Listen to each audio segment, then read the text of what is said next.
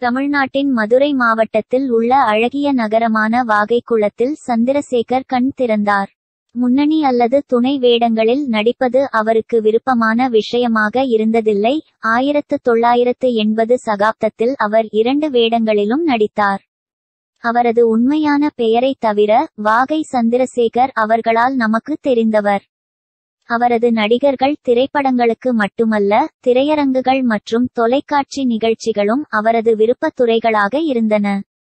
ஆயிரத்து தொள்ளாயிரத்து எழுபத்தொன்பதாம் ஆண்டு ஏப்ரல் பதினான்காம் தேதி தமிழ் திரைப்படம் புதிய வார்ப்புகள் திரையரங்குகளில் வெற்றி பெற்றது. இ. பாரதிராஜா இயக்கத்தில் கே. பாக்யராஜ் மற்றும் ரதி அக்னிஹோத்ரி ஆகியோர் முக்கிய வேடங்களில் நடித்திருந்தனர். சந்திரசேகர் படத்தில் ஒரு முக்கியமான பாத்திரத்தில் நடித்தார் மற்றும் ஏமாற்றமில்லாமல் அவர் பாத்திரத்திற்கான தகுதியை நிரூபித்தார். பின்னர் இப்படம் தெலுங்கில் ரீமேக் செய்யப்பட்டது. ஆயிரத்து தொள்ளாயிரத்து தொன்னூற்று நான்காம் ஆண்டு அர்ஜுன் இயக்கத்தில் வெளிவந்த தமிழ் ஆக்ஷன் திரைப்படமான ஜெய் ஹிந்த்.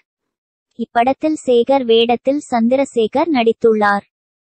ஜெய் ஹிந்த் படத்தின் கதைக்களம் தனது காதலை உயிரை பணயம் வைத்து பயங்கரவாதிகளின் குண்டுவெடிப்பு தாக்குதலில் இருந்து தமிழகத்தை காப்பாற்றும் ஒரு துணிச்சலான போலீஸ் அதிகாரி பரத் தற்போது வரையிலும் மக்களால் பேசப்படும் கதாபாத்திரம் ஆகும்.